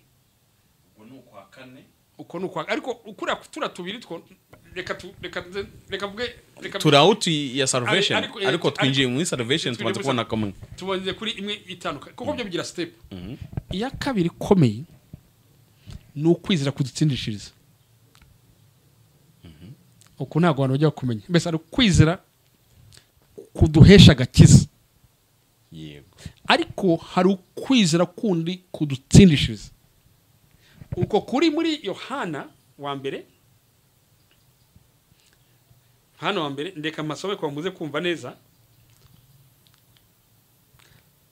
Yohana mbere igice ni icya mbere murongo wa, cyenda igice cya mbere ku munani wa cyenda. Nituvuga ko ari nta cyaha dufite tuba twishutse ukuri kuba kutari muri twe. Ariko nitwatura ibyaha byacu. Wumva ibintu bibiri hari ukwizera ko kwatura yuko yesu ari umwami. Ariko nitwa ariko hano kandi zo nitwatura ibyaha byacu. Niyo yo kwizerwa kandi ikiranukira kutubabarira ibyaha byacu no kutwezaho gukiranirwa kose. Ha ha. Abantu benshi bashobora bagoshobora kwakira. yesu nk'umwami n'umukiza bakabivuga ariko ntibatsinde ariko ntibagire kwizera kubatsindishiriza bagajya bihora bibona ari abanyabyaha bitarangira ngo you celebrate igikorwa mbese ugahora ucelebratinga icyo yesu yakoze ku musaraba ariko ntugere kuri efe yo kwizera ku gikorwa yesu yakoze ku musaraba gifite imbaraga zo kuguhindura gu- gushobora kuzana gukiranuka kose ngo no kutwezaho ibyaha byacu byose aha rero hari abantu bamwe ah, bagarukira kuri ya full stop ya mbere ya kwa kwizera. Kw'agakiza bavuga ngo once in all mbese twizeye rimwe it's done. Kwizera ntigukure. Fact namaze kumenya nose igikorwa yesu yakoreye ku musaraba namaze kumenya ko cyarangiye kiri kiri ni ukukizamo ngo oh mbonye inzira inyiza nizeye ko ino nzira yanyiza noneho hakaza indi tapu ya kabiri n'urwo ngo rero hari ukundi kwizera ko mu gakiza gufite imbaraga. Kukubwira ngo ukukunde niko nashatse cyane cyane. Kuvuga ngo none wa muntu amenye kumenya ngo ninatura ninatuza akanwa kangiye kwesa ari umwami. Ndakizwa. Ariko hakaza ukundi ngo nabwo Ni kuba navuze yuko yesu ari umwami in fact byanyinjizaho gukirira no ko uwo mwami agiye kunyobora ariko mfite ikintu gikomeye cyitwa ni natuza akanwa ni- ni- twatura ibyaha byacu niyo yo kwizerwa ikaduheza sekirite yo kutubabarira yo kutubabarira ibyaha byacu ah, no kutwezaho gukiranirwa kose. Ndashaka aha ngaha amagambo meza arimo aha ngaha nagira mbwira abantu bankurikire rwose. Muri mu gakiza ikintu tugira ni ukukwizera yuko iyo twatuye aratubabarira. Mwumva amagambo yamara kutubabarira ngo akatwezaho gukiranirwa kwacu kose. Uraza kumaze kwizera kora ryari? Uwo kwizera ukora kuri day one kuva ku munsi wa mbere kugeza twinjiye mu gihe uhoraho in fact uku kwizera niko gutuma uyu munsi ntashobora kuvuga ngo ndi umunyabyaha. Hano ntabwo bavuze ngo turi abanyabyaha. Kurikira ngaha niba bavuga ko nta cyaha dufite sibyo? Ariko i- ahangane that's why I'm not a sinner. Kuko nari umunyacyaha? Ni uko hari ukwizera kunsindishiriza mu gakiza kumbwira ngo niyo wakora icyaha. Ukoze icyaha. irakuba irakubara ikakweza ikagutunganya. Ni- nkunda kubivuga nkunda kubibwira abantu. Kuba utari umunyamwanda si uko kuba uri umunyesuku si uko utandura aho kuba uri umunyesuku ni uko ufite sekirite y'uko buri gihe wanduye urihanagura. Ni ukuri natwe bimeze mu gakiza. Hari, umutekano hari kukwizera ko gutsindishirizwa. Abantu kukwizera ntibajya kukinanga mbese na- unabyumve neza uzi kwizera gutsindishirizwa impamvu ufite imbaraga? Iyo wizeye kirisito ukatura ibyaha byawe. Aha. Ndabizi ko umuco wo kwatuza wavuyeho eh, ahantu henshi ngo nta gisirimu kirimo nta ki hmm? ariko buriya twagomba kugeza umuntu ngo ariko bisigaye ngo biri no mu byaha bihanwa n'amategeko y'u rwanda ni harassment. Yego ni harassment kubera ko ngo ngo tutatuza abantu abantu bakatureka. Nawe uyu muntu niyo mpamvu ni igikorwa cyo kwiza ntabwo ari kimukorera kwanamiza. Noneho ariko si ukwanamiza gusa. Agahita avuga ngo kuko natuye ibi ngibi ndababariwe. Kandi ubwo mbabariwe mwumve ubu- ubundi reka mbwira umuntu wababariwe agasubira mu cyo yababariwe. Ibihano biriyongera. Niyo mpamvu imana yo itatubabariye gusa ahubwo yatwejejeho gukiranirwa kwacu. Hanyuma ijambo ryitwa ngo turi abera. Oh ni ukuvuga ngo imana ukoze icyaha ntabwo ikubara mu busubiracyaha. Ntabwo ibara nk'igisubiracyaha kuko yari yarabye nta byari bigihari. Wowe icyo satani ijwi rikubwira ngo na cya gihe waragikoze ni irya satani. Niwe ukwibutsa neza ubyumve neza mwumvise imbaraga izi mbaraga i- ikita iri- i- ukwizera gutsindishiriza. Ibintu by'agakiza yenda tuzafata umwanya tugende tubyiga igice gice kuko ni ibintu abantu babayemo gusa navuga ngo abantu bizera ibyo batanazi. Iyo ngiye imbere y'imana nakoze icyaha. Nkabwira ngo mwami nze muri kwa gutsindishirizwa ko mu kwizera uku rero uraza kubibona kwizera kwa mbere twavuze ni ukwa kundi kutwinjiza mu gakiza. Ariko mu buzima bw'agakiza tugira ukundi kwizera gutsindishiriza. Satani avuga ngo yewe wakoze ibi nibavuze nawe nkwibutse. Ngewe mfite kwizera ninatura akanu- ninatuza akantu kanjye kwese. Ninatuza akantu kanjye nkatura ibyaha byanjye. Niyo niyo kwizerwa ngo ni iri faithful kuri icyo ngicyo. Uzi icyo- uzi iyo sekirite yagutsindishijwe mbese iri faithful mbese iri umwizerwa wo gutora ibyaha byacu no gukuraho. No kutweza. No, no, mbese niyo mvura niyo mvura twitabera. Donc imana ihora ari iyo kwizerwa ku munyabyaha uwo ari we wese ushaka ku- kwimweza ikamuhanagura gukiranirwa Cyane. ko kose. Ibi byo ni umwizerwa muri byo. Ahubwo njya mbabara hari n'abantu ngo, ngo, ngo, ngo, ngo twabariwe ngo mbese bavuga ngo imbabazi zatanzwe rimwe. In fact imbabazi zaratanzwe. Ariko iyo natuye actually ni ukuvuga ngo imbabazi ziri available. Reka bisobanure mbese dufite imbabazi dufite imbabazi abantu bavuga ngo nimaze kumva none kuri discussion bavuga ngo ngo ngo twarababariwe nta mpamvu dukeneye gusaba imana imbabazi. Icyabaye nuko Ni nuko imbabazi. zabaye available zirahari. Kandi izo mbabazi zijyana no gu- no gukuraho gukenerwa kwacu kose ni ukuvuga ngo rero ngiye nkoze icyaha n'icyita cyo nibuka yuko hari muri faithful hari umuntu umwizerwa wo kumabarira no gukenerwaho kutweza no ku- no gukuraho gukenerwa kose aha rero ni ho imbaraga ziba zitwa mu gakiza tugira ngo kwizera gusutsindishiriza ahubwo nta n'umuntu wambaza ngo kuki waje kumana kenshi we? Usaba imbabazi. Aho na ntuzayinaniza nyine niyo mpamvu na yo mu mana bwayo niyo iyo kwizerwa ikuyeho kuri iyo ntabwo baza ngo saa tanu waragikoze ngo ugarutse saa sita. Niyo mpamvu imana itajya yicunaguzaho ni uko tujya ku- ni uko tutasaba imbabazi. Ahubwo ikibabaza ni ukubona ni uko utajyayo. Uzi ko mu bintu warebe cyane cyane imivuga tuvuga mu gakiza? Mu bintu imana itunze ngo ni umutunzi w'imbabazi. Ni ukuvuga ngo ni bimwe- bivuga ngo umuntu utizera ntashobora kunezeza imana. Utizera ko imana ariyo kwizerwa mu gutanga imbabazi no kutwezaho gukiranirwa kwacu kose. Ahora yibabaza. Ntawe urayibabaza akizera ubuntu bwamukijije simplement ariko ntiyizere ko ibyaha yakora uyu munsi imana ihari kugira ngo imweze kandi ari byo bintu ikiranukira numvisha impamvu ya bwa bubyutse ni ugufata ijambo. Imana niyo kwizerwa ikiranukira kutweza no kudukuraho ibyaha byacu byose. Ayo magambo ane umuntu ayanarije ijambo cyane. ububyutse bwazo. Ab- abantu uzi ko bivuga ngo mwege ntebe y'ubuntu bwayo mudatinya in fact umunyabyaha agomba kuba proud yo kwegera imana imubabarire satani ni we uduhungisha imana. Ntabwo ngo eh, eh, cyakora hmm? ngo icyo ni finale biri biri available ngo ni umutunzi imbabazi rero uku ni ukwizera bita ngo ni ukwizera uh, faith justified. Iyi actually uku ni ukwizera kudutsindishiriza ntabwo buri muntu wese nkurikiye kuri zaburi ibi ni ubuzima ntabwo ari ikiganiro ni ubuzima pe. Ntukagire nta cyaha gikomeye imana itakubabarira ushaka no kwigarukaho kuki- niyo mpamvu icyo bita daily prayer. Yesu yishana gusenga buri munsi isengesho ry'umunsi nyine twita ngo Dawe uri mu mu ijuru buriya ni isengesho rya buri munsi rivuga ibintu biri today. Ndaza kubigarukaho rivuga ibintu by'uwo munsi ivuga ngo tubarire ibyaha byacu.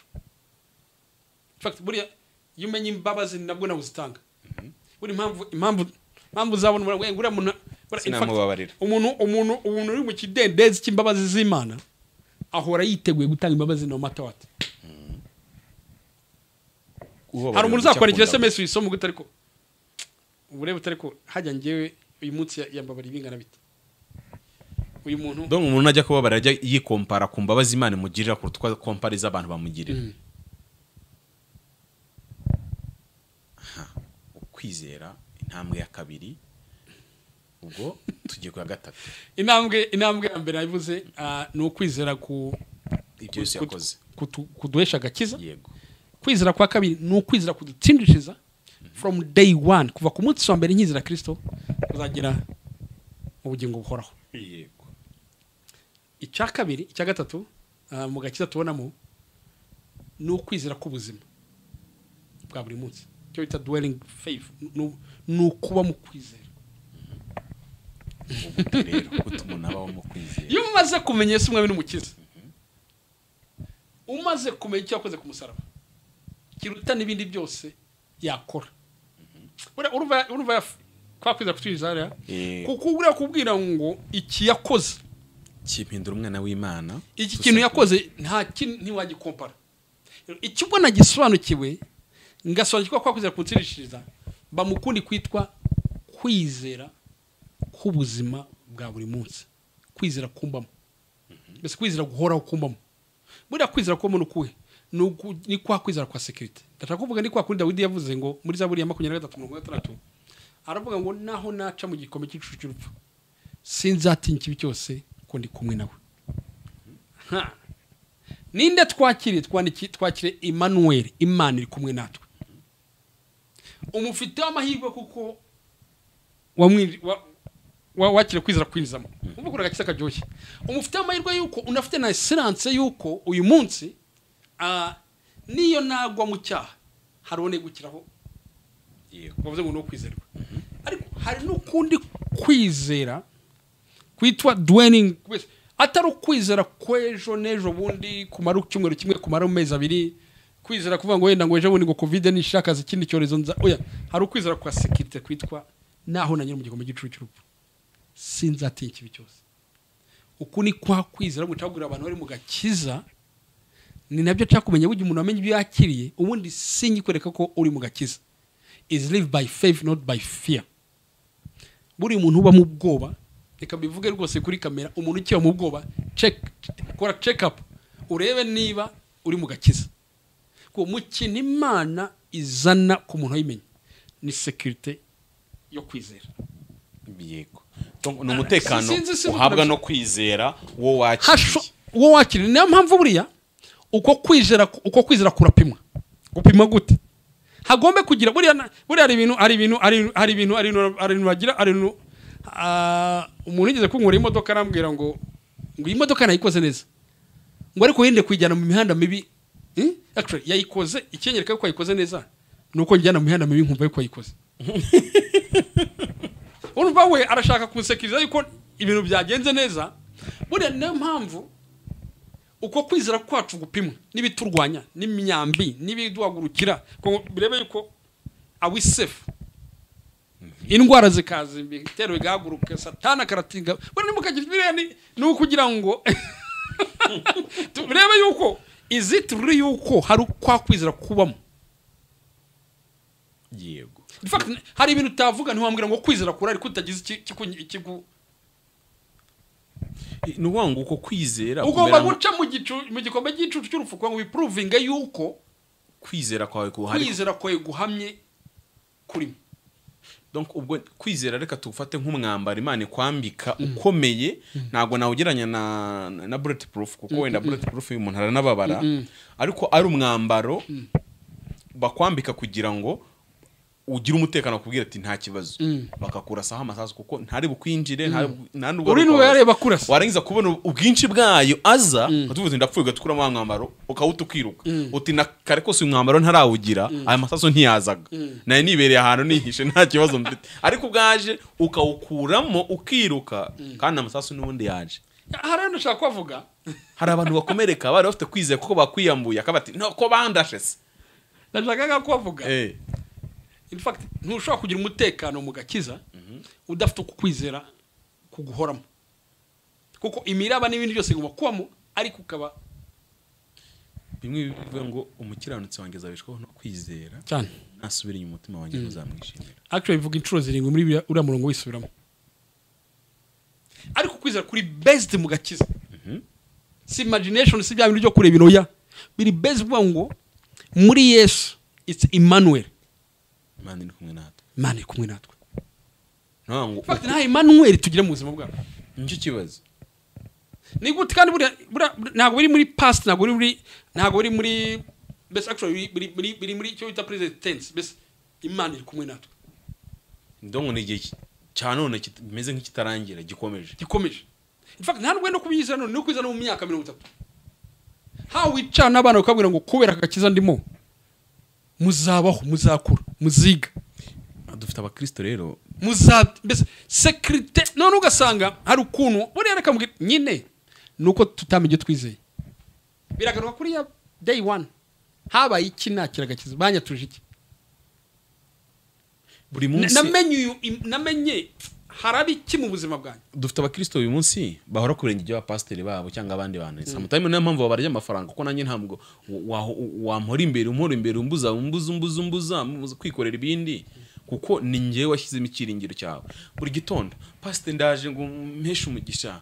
Pasite ndaje nyine hari manevure pasiteri agukoreraho wumva ari zo ziguha umutekano zituma nyine uramuka zituma ugira ni ikimenyetso cy'uko utagiye kukwizera kwawe kwa buri munsi rero kuko nta wakiriye uwo wakira umusego kwa pasiteri buri gihe ujya kumufata kwa pasiteri buri gitondo cyangwa buri mugoroba uko utaha And in fact buriya ni na yo mpamvu ibintu byose byari kutuba mu gakiza.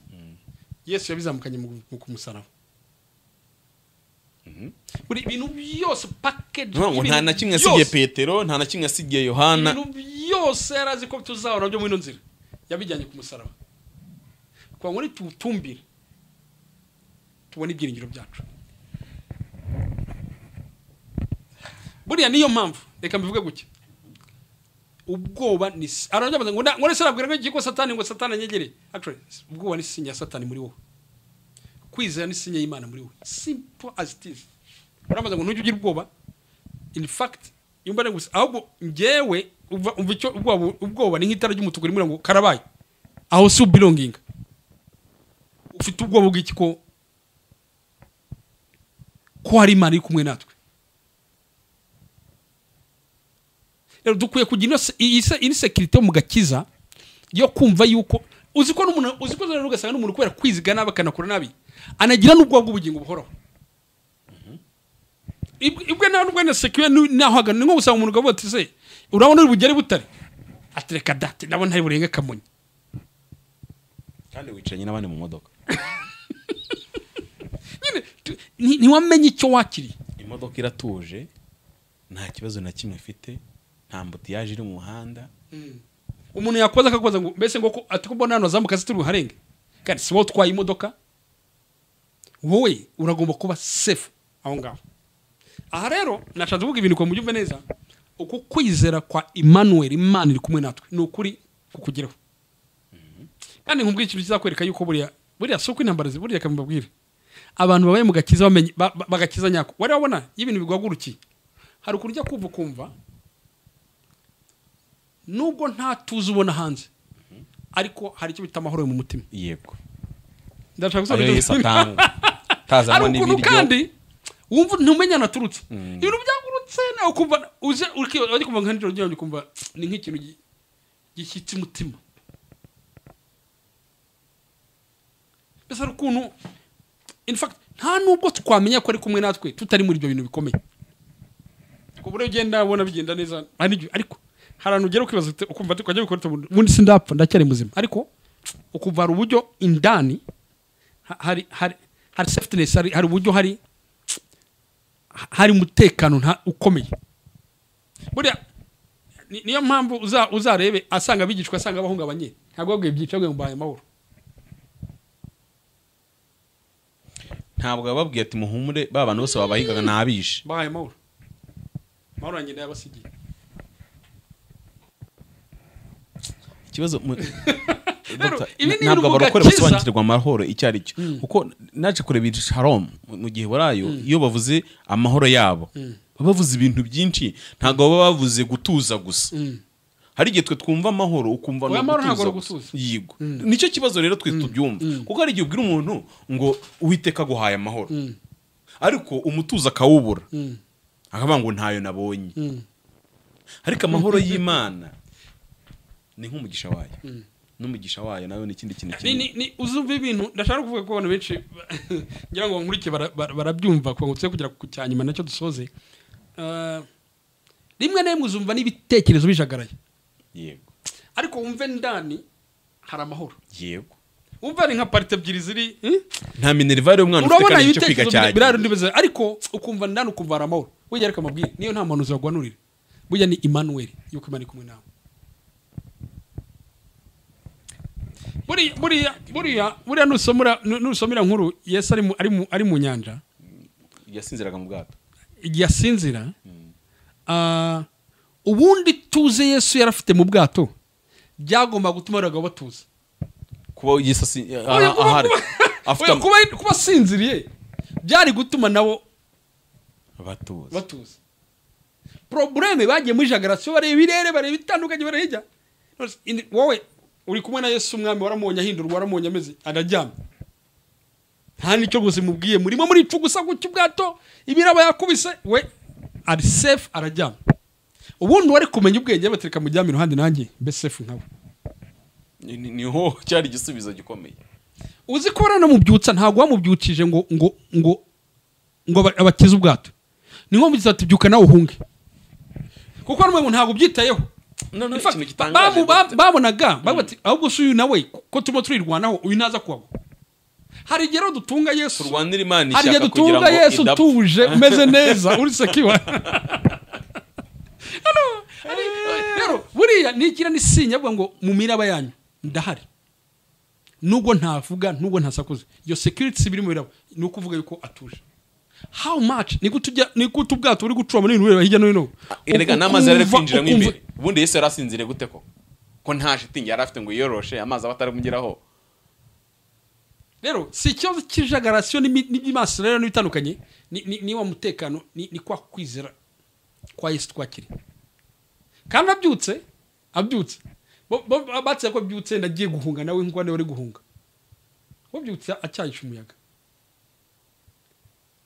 Nta n'uwamuje ngo watinze wari uri hehe hari ukuntu twabuze icyizere. Mbese niyo mpamvu nyine izi nyinshi agakiza. Hari ukuntu twabuze icyizere mu gakiza.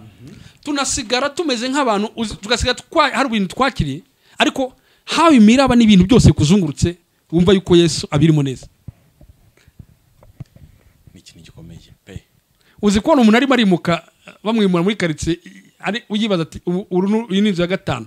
Hose agenda asiga amadini ukamubwira ngo wese ndimo ni intuzi ntabwo ngo biragenda gute ariko mwemerere umwanya bamwibutse. Ashaka kuvuga ngo mubyumve neza. Umwanya bamwibutse. Bakamukangura ati ntubona ko ntacyo bikubwiye Ya, rero hari igihe tureka muri sanjagarasiyo zacu kuvuga uti Emmanuel. Rero nagira ngo ahangaha tubivuge. Hanyuma uku ni ukwizera kwa gatatu twavuga kwizera kutubamo ku ikibazo ubanza komeza kukibita kutatubamo buri gihe. In fact dore ikibazo twageze two kwizera kuzanwa n'ijambo. Hmm? turagenda rya jambo rikaba ro rikajya muri hepfo iriya iriya. reka noneho ikibazo cyaba gashidukira hejuru wari wabona wari wabona reka nkwereke reka mbereke abantu muri muzabire neza wari wabona nta kintu gikomeye ujya guhura na cyo. Uri umwana w'imana. Imana itakubwiye. Kugira ngo- kugira ngo kwizera kwawe- kuko mpora mbibwira abantu nkababaza ni gute ubuzima bumeze gutya mu bubayemo? Donc nta makuru mu bufiteho nari nzi ko wenda yari imyumvire yanjye nk'umuntu natangira kuri cya kintu ntangiriye ivuga ngo kwizera kuzanwa no kumva. no kumva. Kandi ni ukumva ijambo rya kirisito ntabwo ari ukumva ijambo rya ukumva- ni ijambo rya ni kirisito irya kirisito rigu- riguha kwizera. Ahubwo porobureme dushidukira hejuru. Rimwe ikadukuyakuya ikakubwira ukuntu igaca hirya. Ah, ah, ok kominikasiyo na byo tubivuga kominikasiyo yawe n'imana biterwa n'imana yawe n'imana imana iri available ahubwo wowe umwanya wayihaye. Ni ungana gutya? Ah, yaravuze ngo ntacyo najya gukora ntabwiye intore. intore zanjye. Ni gute? Ny- nyine simbyumva. Nimba ibwiye abantu hambere atari ko pamfili wowe ni uko wanye n'imana gutya? Ariko se ko imana ari iya twese? Nta nta kintu kidasanzwe nakoreye imana. Ndi umunyabyaha nk'abandi bose. Ariko ni gute umbwira ngo iki kintu kidasanzwe kirakubaho kirakubaho? Rero iyo cya kintu cyabaye tutabimenye ni bwo tuvuze induru. Ni nabwo tuvuga ngo noneho icyo gihe turimo turavuza induru tuba tuyishaka uwo mwanya. Buriya nta kintu gikomeye. Turi mu ijambo ryitwa kwizera. Ntimugashake kwizera kwa, maji. Nta kwizera kwa maji kubaho. Ndategeka ibintu bimwe yabikubwiyeho iki? Kuko hari igihe usanga ari iyo uri kwirukana. Birantangaza intambara y'abanyamwuka. Urimo urirukana mu izina rya yesu. Mm. urabizi neza ahantu yesu ahagaze? Uruhande yesu ahagazemo uzi urwo ari rwo abantu bagiyeho birukana korona ni bwo ki- imana yamuhaye iki kintu? Genda umbarize abantu ngo muzi uruhande mpagazemo. Bakora ngo ngo ibiterane bikomeye bakora amasengesho abanyamadini barahagarara bara ariko imana ngo genda nabivuze kuri zaburi icyo gihe. Genda ubambaze ngo muzi uruhande mpagazemo. Mbere y'ibyo mukora byose nimujye mubanza mumenye uruhande mpagazemo. Kuko ikibazo gikomeye abenshi muri twebwe duhindukira kurwanya imana mu izina ryayo. Yeah, of course ni cyo iki- kandi akenshi iza ikintu ifite n'umugambi cyo i- ivuga n'icyo ugomba gukora. Ahubwo ikintu kiba tujya turangara na cya kintu twumvishije. Hari ukumenya kuyumva hari no kumenya gukipinga cya kintu imana yavuze. Kuko iyo gikipinze ukagira ngaha kikwera imbaraga zituma urwana muri cya gihe. Twe rero dushiduka impamvu nyine kwa kwizera kutugora dushiduka ibintu byatuguyeho ijambo riragira hano hasi cya gipimo cyacu kiri hasi ko ubundi uko uko ubundi bivuga gutya mu mvugo yoroshye. Bura uko kumva kwawe kungana kungana no kwizera kwawe kungana no gukenuka kwawe. Bura ni ibintu bitatu bireshya mbese uko wumva kwinshi kumva neza kandi ntabwo uko wumva. Niko wizera. Niko ukiranuka. Iyo- biri hasi biba ari hasi. Iyo biri hejuru biba biri biri hejuru. Biri hejuru. Kuko ni na yo mahirwe yo kugira ibiganiro nk'ibi ngibi. Hari n'ibi- hari n'ibitangaza dushaka kure kandi ibitangaza biri mu kumva. Tuba twashaka kubireba. Twe tugashaka kureba kandi tutazi inkomoko yabyo. Kuko harabanza kumva habe kwizera habe igitangaza cy'imana ariko icyo mbwira abantu ni uko Emmanuel aratu buriya nitwe tubura. Njye nemera ikintu kimwe. Ah, abantu bavuga ngo imana sivuga buri- buriya njye nemera ikintu kimwe. Tumeze nka radiyo ifite amasheni menshi. Hari igihe rero uba wakuye kuri frequency kuri frequency imwe imana ivugiraho. niba ukagira ngo iyo frequency wavanyeho imana yaciritse ubu none radiyo rwanda iri ku ijana n'ibice birindwi. Ukimukira wenda kuri sitiredi gushifitinga ukajya ku ij- ijana na gatatu n'ibice bi- bibiri ntabwo iri bu bifunge radiyo ntabwo rwanda. Uri kuvuga radiyo rwanda. Radiyo rwanda akomeza ivuge ariko wowe ivuga. ntuyumve. Wowe wowe waci- wowe waciye cano uzana ibindi. Yo ni iri iri iri available. Rero uko bitwa ku byexperiencinga mu gakiza kacu tugira ikibazo cy'uko dufite abantu batatumwe na yesu cyangwa se batumwe na yesu bakazana no muri box y'ubutumwa yesu yabahaye bakajyamo muri package. Ku buryo uyu munsi dufite abantu bakomeye kuruta yesu mu maso yacu ni aba bishops ni abaposo ni abapastors ariko noneho eh, ikintu cyose aho kugira ngo tukibaze yesu ni na cyo kintu gikomeye kibaho amateori y'abantu ari kugwira mu mitwe y'abantu ku buryo ngewe nkubwira ngo dogita iyatureho igire gutya igire gutya igire gutya nkakuremamo icyizere giturutse mu magambo yanjye ariko atari amagambo avuye ku mana. Ku buryo nugera ahantu uzatembanwa rwose. Uziyaturaho rimwe pa- pasiteri pamfiri akubwiye. Ariko utembe. Kuko ntabwo ryavuzwe n'imana ryavuzwe na pamfiri kandi yakuremagamo morale. Hari ibintu bimeze nk'ibinya abantu birirwa batera abandi. Ku buryo ariko iyo kigushizemo ni bwo wumva bwaba wari ufite ukuntu wari umeze Mm, biriya rero biriya byose ni ni ni kutamenya kwa kwa kwizera guhamya. Aha kandi ndangiza kugira ngo tuze gusoza ah, urumva navuze kwizera kwinjiza mu gakiza mvuga kwizera ku- gutsindishiriza buri munsi si kugira ngo sitanata kwivuga hejuru. Ah, mvuga ko no kwizera dwelling faith kwizera gu- gu- guhoraho gutuyemo. Ut- ntabwo ari uko kwa ntabwo ari uko kuri kuno kwezi ntabwo ari uko yajya ari ariko no kwizera gutuyemo. Hanyuma kwizera kwa kane nsozerezaho uku ni ukwizera mu cyongereza bita ngo ni daily faith. Ni ukwizera kwa everyday kwa buri munsi. Ni ukuvuga ngo kumeze nka manu. Manu yazaga buri munsi. Uku ubundi ukwiye kujya ubyuka buri munsi warimwe n'imana. Ufite uku kwizera kwa buri munsi. Uku ni ukwizera umunsi ubona yuko buri munsi imana niyo ikuronkera izi yo provayida ntibimbuje ko njya mu kazi gukora. Ntibimbuje ko nkora ibyo ngomba gukora. Ariko yaravuze ngo muri rya sejo ya data twese aravuga ngo uduhe ibyo kurya byacu by'uyu munsi. Nta urumva ukuntu bigera hariya. Ni- imana kuko ari niyo mpamvu umutiza ntashobora kunezeza imana. Ah, kuki avuga ngo buri munsi imana irashaka kugira connectivity nacu irashaka kuba connected natwe buri munsi. Agakiza impamvu ubona kagora abantu bakagira kakabavamo agakiza hari iminsi yakonje katari akayo eee hari iminsi tugeramo rwose kumva imana ntushaka kumva muri imana bumuhaye ka- karuhuko noneho ukabaho ukumva iyo ndi nyabugogo nta Ntabwo Imana hari kwikonekita, ariko twakumvikana. kuwa kane tujya tugira icyumba cy'amasengesho. Mm, nyabugogo haba hari akavuyo kuwa kane Imana ishaka yuko mu gakiza buriya ibintu ngiye kubwira pamfi birakomeye. Buriya uzi ko imana muri bibiri nta hantu ijya itanga ukwezi nta hantu itanga icyumweru. Nta hantu itanga umwaka. Buri imana itanga a day. Niyo mpamvu umwanditsi waza buriya yaririmbye nawe yavuze umwanditsi waza baravuga ngo nguyu munsi w'iteka yaremye. Tuwishimiremo tunezerwe. Be glad. Happy and be glad for it. Ni uyu munsi. Uyu munsi ni uwanjye nawe. Reka da abadiveta bavuga ko hari ku isabato. Uyu mu- yes niyo navugaga nyine. Probleme abantu bafite iminsi bazi buriya hano uravuga ati hari umunsi wo kuwa gatanu wagiye guhembuka iyo nirije ni bwo umunsi ni bwo numva ubusabane bwanjye uri kumwe n'imana. Ah, yesu naza kuwa kane bizagenda yo- ku cyumweru buriya ku cyumweru nkunda amateraniro yabera nose ko yaramaze icyumweru yaramaze ame- yaramaze amezi afunze. Ishaka kubana natwe umunsi. Kandi buri munsi wose ukazamura n'ibyiringiro byo kwizera. How much mbyuka mu gitondo ufite expectation y'ibyo Imana igiye gukora bishya kuri njyewe ari rero tuvuga uyu mwaka njya september abantu ba mu kwezi imana izakora ibi. Hari n'akomeza kuvuga ngo september to remember ni agaterime kamaze iminsi. Kuko imana? Eh uku kwezi kwa cumi tujya kujyamo ni ukwezi imana imbwiye uyu mwaka in fact ibyo byose ni byiza ariko why not? Niba unanirwa kwizera buri munsi. Nta nubwo uzayizera mu kwezi. Uduha ibyo kurya byacu by'umunsi be our provide today. Niba byahita byikonekita na manu yaravuga ngo iyi ntirara. Why? Ndagira ngo muta- mutazakora sitoke mukanyibagirwa buri gitondo mujye muziga ngo hari imana ibutanga imana.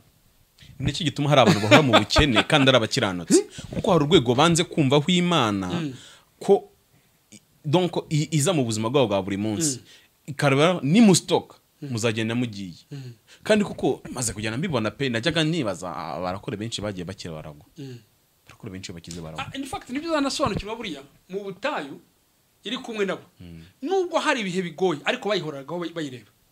Bageze mu gihugu cy'amasezerano noneho bati twagezeho noneho dushobora kwi- kwihaza. Twishakira umwami. Ntitwishakire umwami. Tujye gukora alliance na na Djibouti n'ibindi bihugu. twese bamwe dufite dufite abana nani batafite ariko ndavuga nk'abafite famiye how uzinduka mu gitondo abantu babwira kugirirwa neza kw'imana kuri uwo munsi. Nubwo ufite sekirite ya minerva ari imyaka icumi yabo ariko ni gute ubametiriza yuko every day god's your provider? Buri munsi imana niyo ibarongera. Rero urabona kuko ibi ni mu gaki ubu ni ubuzima bw'agakiza.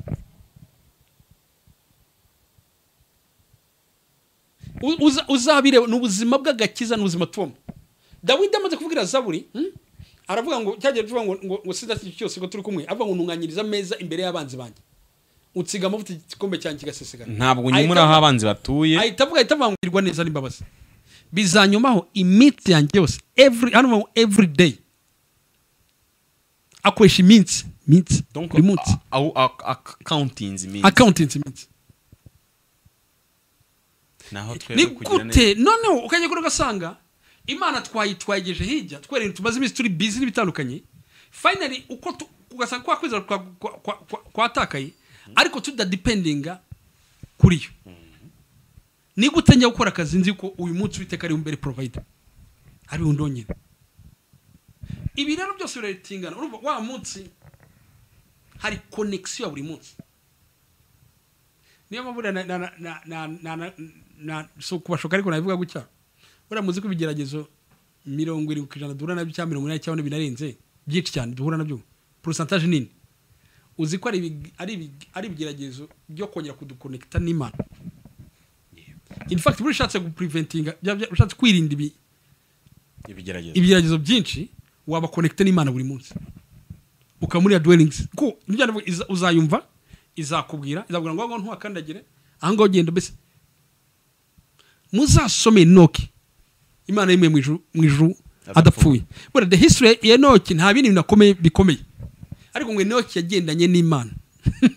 Urumva neza? Bahita bavuga ngo ngo agendana n'imana. Imana batari kose yatera step agatera step n'imana. Amara imyaka irenga magana agenda n'imana. Ngo imana batereka mbwire wowe let's continue. Reka indege ihita ikomeza izamukire muri mwe. Twigendere. Winjoyinga ute kumva ufite icyizere mu mana buri munsi. Aha rero ni ho twe dutandukanira n'abapagani. Twakwizera kuvuga ko imana iriho. Yuko ushobora kugwisha imvura yuko hari imana irenze ikirere. Uko ni uko abadayimoni n'abandi bagufite. Hari n'abantu bizerera mu maturo n'ibitambo batambira imana. Wayi muri muri ino sengesho. Iri sengesho. A- yatangije ngo data twese. In fact ni uko buriya ah, ni na yo nshuro umubyeyi buri- jambo ryitwa data ijambo ryitwa ririya jambo rya data iyo ugiye ryitwa mu magambo yoroshye buriya umugabo yitwa provider nize kubivuga life giver. N'utanga ubuzima. N'utanga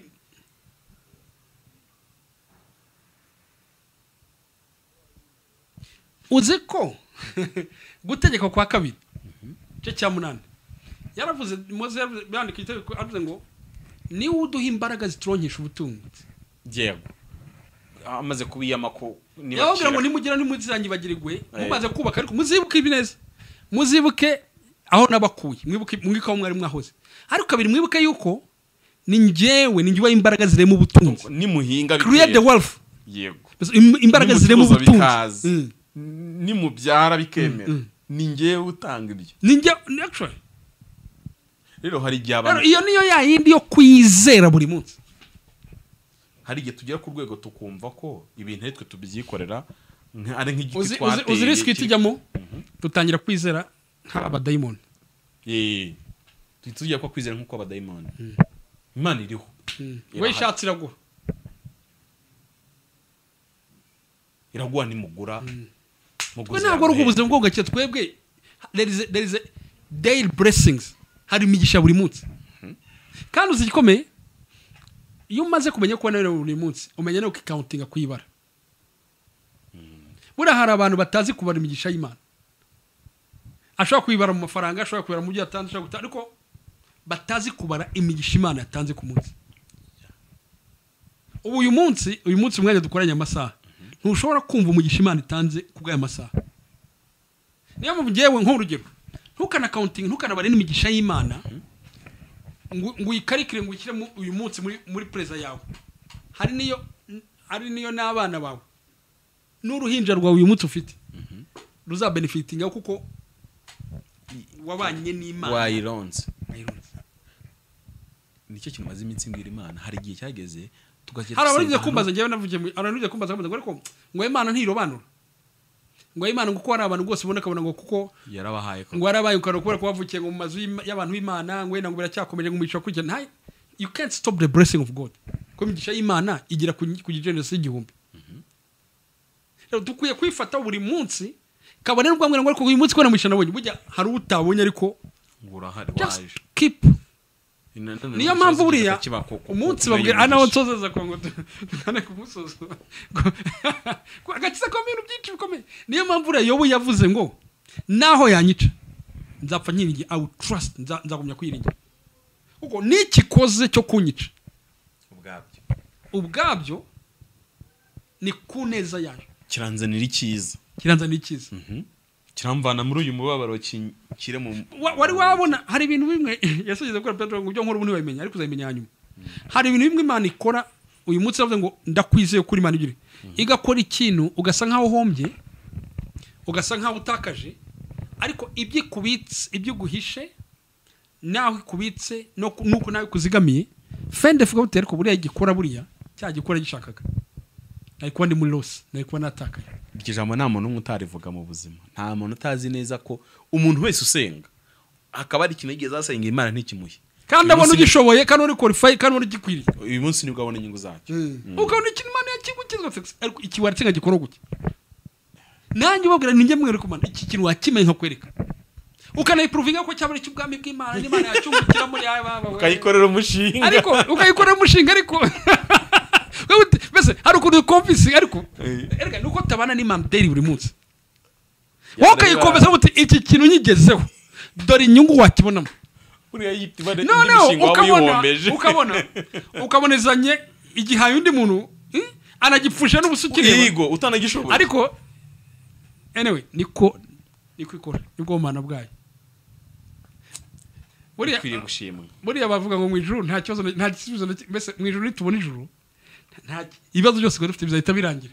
Tuzabona byose. Ibibazo byose wari ufite bizahita okay naha byari bikwiriye ko bya bintu bigenda gutya. Amen. Dogita ndagushimiye. Hanyuma tunasabe umuntu udukurikiye. Eh, turacyari kwiga agakiza. Eh, tumaze kwigaho intambwe nk'eshatu kandi turacyafiteho nyinshi Nyinshi. zo gutera. Kuko nibira ko tuzajya kurangiza iki cyigisho tumaze kubona Mm. Ko amadini adushuka.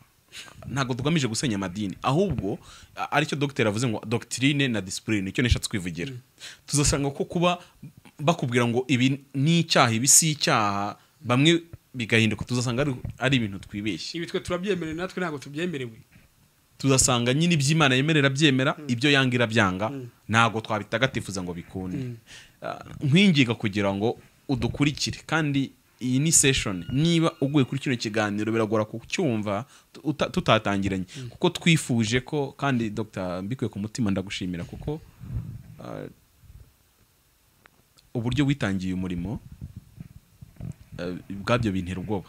Buriya mfite byinshi nkwigiraho nkagira ubwoba nkavuga ngo uyu mugabo ufata amasaha ye buri gihe eh, no kugira ngo no kubona aba pasiteri nk'ubwa b'abapasiteri ba- kandi bakayica. Ari uko kunyira ngo nyine akwereka ko akomeye tout simplement ko akomeye bica muri protocole kwa ngo uzamubona atari ikintu cyoroshye. Kubona dogiteri buri cyumweru buri cyumweru kandi yitanga akabikora gutya mwene data ibintu tutazabipfusha ubusa kuko no mu bintu tuzabazwa n'ibintu na byo birimo. Rero kwa ngo wumve iki kiganiro dukoze ni ukujya kwiga icya mbere n'icya kabiri kandi ntacyo bitwaye. Umwanya wumva ijambo ry'imana ungana no kwizera kwawe ukangana no gukiranuka kwawe. Nagira ngo dusoze dusengera imana umugisha. Mana turagushimiye turaguhimbaje. Tugushimiye yuko uri imana nziza. Turagushimiye ko umushinga w'agakiza wawuteguye kera isi itarabaho. Kugira ngo uyu munsi wa none tugendere muri ibi bintu mwami. Ndagushimiye yuko waduhaye kwizera gutuma twinjira mu gakiza. Ndagushimiye ko ari kwizera kudutsindishiriza kuduha umutekano kutubwira ngo erega n'ibyaha byanyu niyo byatukoreka tukutuku mfite kubyeza bikaba nka sheregi ndagushimiye yuko hari uku kwizera kubana natwe. Dawidi yakumvise aravuga ngo naho nanyura mu cy'igicucu cy'urupfu sinzatinya iki cyose ko ndi kumwe nawe. Turagushimiye kuri Emmanuel ko kumwe natwe. Ndagushimiye ko ushaka ko tugenda nawe buri munsi tugira kwizera kwa buri munsi. Haleluya buri muntu nkurikiye mwami yesu iki kiganiro ucyumvisha atarakizwa bimubera umwanya mwiza w'amatsiko n'imbaraga zo kwegera ngo ubuzima bwe buguhe kandi nawe atanyura urugendo rwo gusobanukirwa neza icyo wakoze ku musaraba mwami. No kugenda muri izi mbabazi no kugenda muri muri no security. No kugenda nawe buri munsi ubuzima bwa buri munsi mwami. N'abakwizeye ndabizi ko abantu benshi bakwizeye bakurikiye kino kiganiro. Ariko reka ikiganiro kituvana ahantu kizandi mwami. Ntibe gusa kumva ahubwo bide kuba abakora iby'iryo jambo. Doers of the world abakora ibyo jambo mwami. Urakoze turagushimiye guha zaburi nshya. Urakoze turagushimiye guha koze imana ukoresha. Kandi turakoze kubw'ubutumwa bwiza buri kumenya kwamamara kuri imana nziza. Urakoze data n'imizesi mwami wacu. Amen